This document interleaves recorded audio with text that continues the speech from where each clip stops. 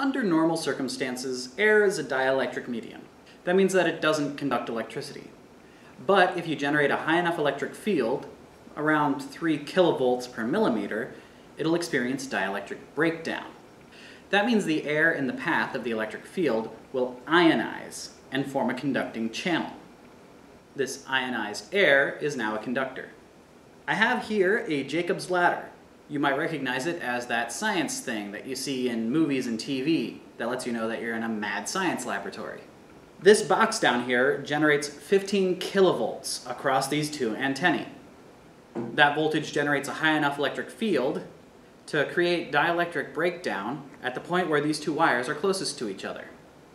That ionized air warms up, and as we know, hot air rises. It rises up between the two antennae. Now ordinarily, 15 kilovolts is not enough to cause dielectric breakdown when the two metals are this far apart. However, dielectric breakdown has already occurred down here. So the ion channel is simply rising. Eventually, it becomes so turbulent that it just sort of dissipates.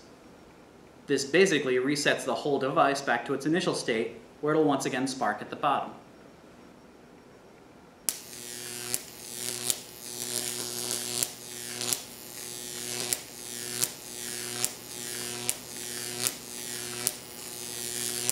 You can see it doesn't behave the same every time because of the electrical forces on the antennae. The current is actually causing them to wobble.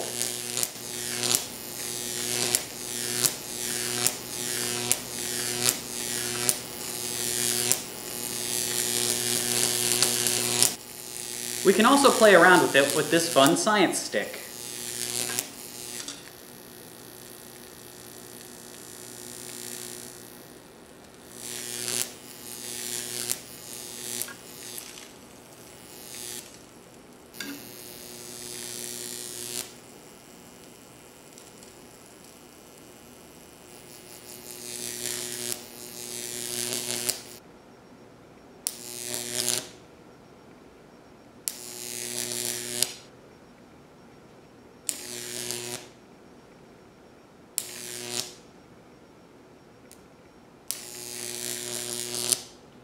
The most common form of dielectric breakdown that we're familiar with is a phenomenon called lightning.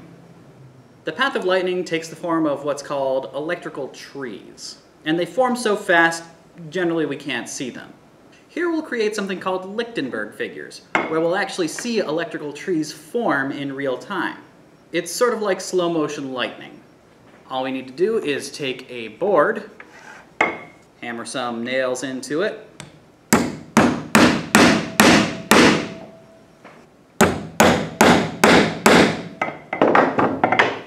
Take some baking soda and water.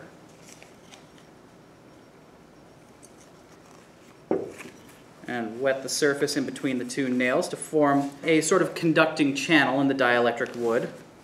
And then hook it up to a neon lamp power supply.